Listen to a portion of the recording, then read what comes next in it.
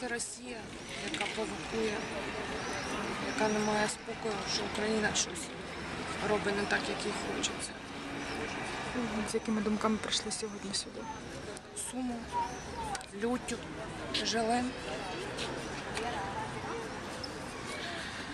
Дуже прикро, що молоді, які мають жити, любити, будувати нашу країну. Вони гинуть.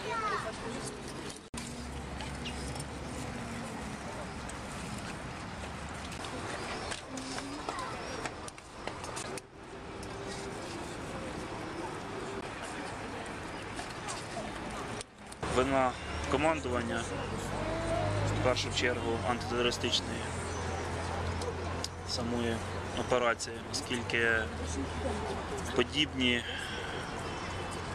дії вимагають якоїсь попередньої підготовки додаткової. І те, що такі літаки були відправлені фактично ну, на призволяще без е, належного прикриття, це, на мою думку, злочин, який необхідно розслідувати.